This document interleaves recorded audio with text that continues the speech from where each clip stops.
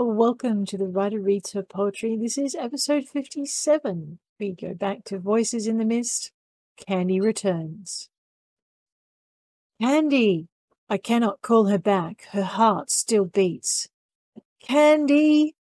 I thought they killed what they could catch. Pray that she breathes. Candy!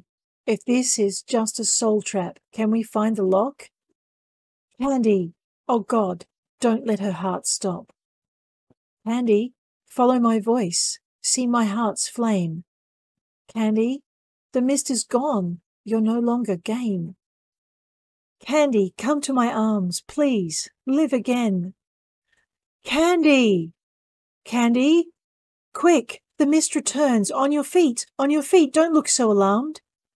Candy! Run! Yes, run with me. The streetlight casts a pool. It will last till full daylight. I cannot believe they tried for you.